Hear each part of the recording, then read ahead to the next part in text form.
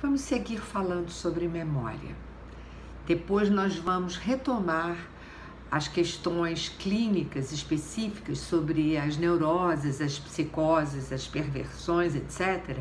Mas me parece que eh, ficou um pouco eh, incompreensível para as pessoas que não são do campo da psicanálise é, qual é a conexão entre o estudo da memória e as questões da clínica.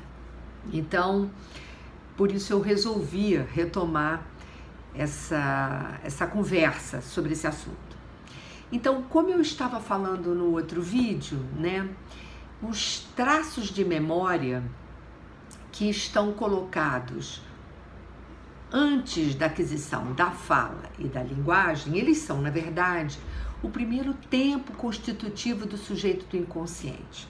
Um tempo originário que vai estabelecer uma estreita relação entre tempo, sujeito e memória. Isso vai se articular. O segundo tempo constitutivo é um tempo que traduz apenas parte dos traços de memória marcados no, nessa, nesse primeiro tempo, nesse primeiro encontro do infans, esse que ainda não fala, com o outro, né? com esse campo da fala e da linguagem, que a gente pode colocar imaginariamente representado por essas pessoas que estão no entorno da criança, sobretudo aqueles que estão mais frequentemente presentes, os pais. Né? É, esse segundo tempo, ele é, portanto, um tempo de ligação entre o que é percebido, entre aquilo que é visto e ouvido como imagem né, auditiva e visual, e o terceiro tempo, né, que é o tempo das representações verbais, ou seja, o tempo onde já se deu a aquisição da fala e da linguagem, onde há, portanto, a constituição do eu enquanto tal, onde a criança se reconhece é, na sua singularidade, né? Há, portanto, uma, uma, uma espécie de falha originária entre a percepção e a constituição do inconsciente enquanto tal, né? Que seria esse intervalo, como eu disse a vocês, entre, entre é, percepção e consciência, né?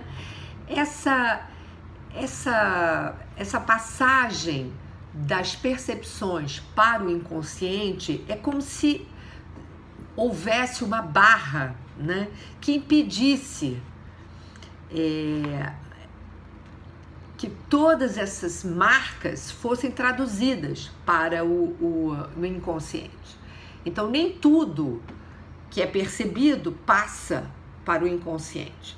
Então, isso que resta e que, portanto, não vai depois, né, no terceiro tempo, nesse tempo das representações verbais, nem tudo o que está na ordem dos traços de percepção efetivamente serão traduzidos e poderão é, encontrar representações posteriormente, né?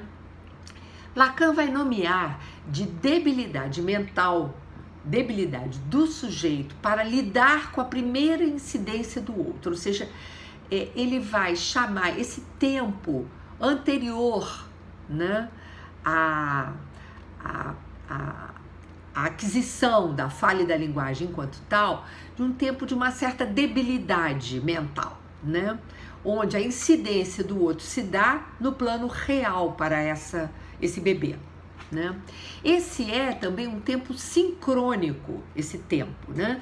que vai determinar um gap entre a marca, entre essas marcas originais e a diacronia da historicidade da cadeia significante, que vai se constituir como inconsciente. O inconsciente, inconsciente possível de ser acessado através da rememoração, é esse da historicidade da cadeia significante que está, na verdade, marcada como a historicidade do sujeito lá no inconsciente. Né? Mas o inconsciente real é esse inconsciente dos, é, é, das percepções, né? Dos afetos, como eu tinha também mencionado no outro vídeo, né? Por isso, então, as marcas originais só são alcançáveis enquanto tal e sem, portanto, uma tradução efetiva. Elas pertencem ao inconsciente real. A falha, essa falha original, ela é responsável pelo que Freud nomeou de recalque originário. O recalque originário diz respeito, portanto, a, a, ao, ao, ao, ele coincide com o narcisismo primário, que é, na verdade, o narcisismo do outro, o narcisismo dos pais. Portanto, daí a, a importância né, dessa é, da gente entender essa debilidade do ínfans de lidar com essa incidência do outro, essa primeira incidência do outro.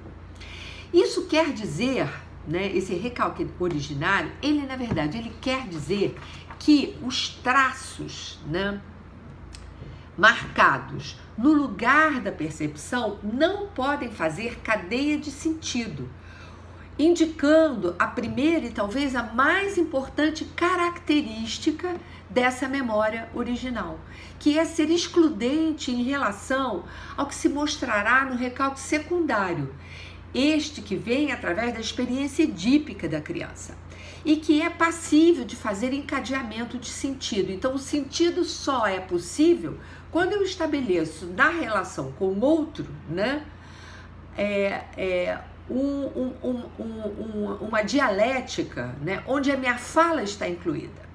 Mas então, que registro original é esse?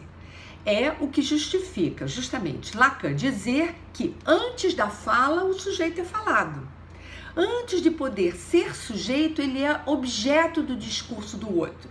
Antes de articular algum discurso, que é uma tentativa de tradução temporal de uma pertença a algum, algum grupo, né, algum segmento social, é, então, antes de articular algum discurso, o sujeito ele é nomeado pelo discurso desse outro, desse campo, né?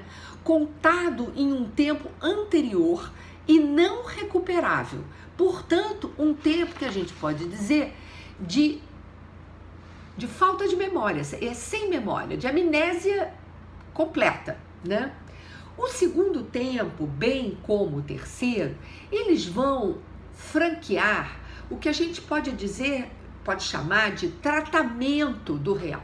No entanto, algumas conexões, algumas cadeias, algumas traduções serão possíveis. Elas se dão é, sobre o pano de fundo desse primeiro tempo impensável e perdido. Os segundos e terceiro tempos, né? Vão corresponder justamente ao recalque secundário.